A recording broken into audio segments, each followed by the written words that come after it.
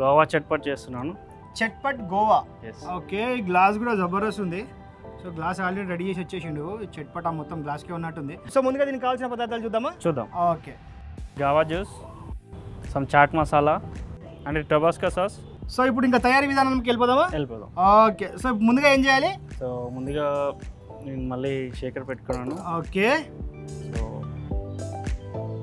Same sixty ఏంటిది? Goa juice? Goa జ్యూసా? అంటే ఏంది ఇది రియల్? Jam real. ఫ్రెష్ ఉంటే మనం ఫ్రెష్ కూడా యూజ్ చేసుకోవచ్చు. బట్ నాకు ఇప్పుడు ఇది అవైలబుల్ ఉంది కాబట్టి క్యాన్ జ్యూస్ అది చేస్తాం okay. Next Tabasco. Tabasco sauce. ఈ టొబాస్కో సాస్ అండి?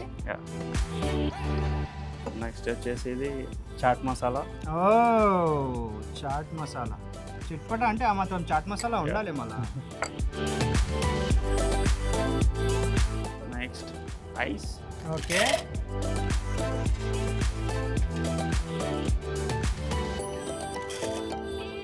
సో ఇంకా షేక్ చేసుకుందాం. చెక్ చేసుకుందామా? ఈసారి నేను చెక్ చేస్తా.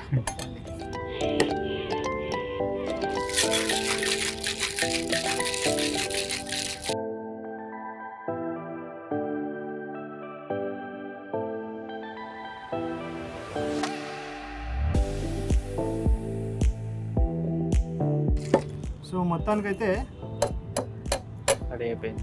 షేక్ అయితే రెడీ అయిపోయింది. అంతేనా? ఎస్ అది ఇచ్చేసి. జల్లెడా.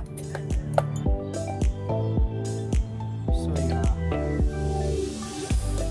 మిక్సాలజిస్ట్ అయినా కానీ నేను ఇక్కడ నా డ్రింకులు ఏ తయారు చేసుకుంటున్నా యాక్చువల్లీ ఇది కూడా ఒక ఆర్ట్ బై. అందరికి రాదు.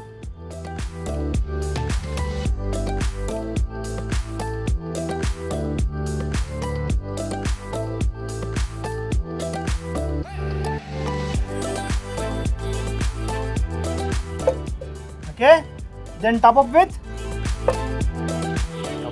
done ఇదేనా సో మొత్తానికైతే మన డ్రింక్ అయితే రెడీ అయిపోయింది. చెట్పటా గువా